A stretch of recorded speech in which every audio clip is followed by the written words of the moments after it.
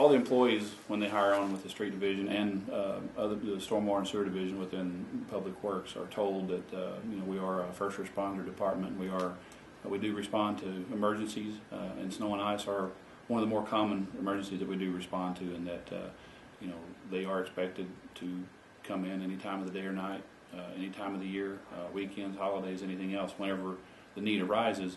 Um, you know, they're expected to be here and, and they accept that challenge whenever they come on to work here, knowing that they're going to be leaving their families in the middle of the night or Christmas Day or whatever the case may be. Um, but they, they accept that challenge when they come to work here. And uh, so far, you know, we've uh, they're actually part of our success story. You know, it's not it's it's you know you can you can have a good plan and you can have good equipment and good uh, enough materials and all that, but if you don't have the people to carry it all out, that that all just kind of uh, it, not very effective. So they're a big part of the success that we have, and, and why I think we we um, do the kind of job that we do during these these storms. And, and um, but the thing that I think a lot of people don't think about is is these same guys that are doing that work.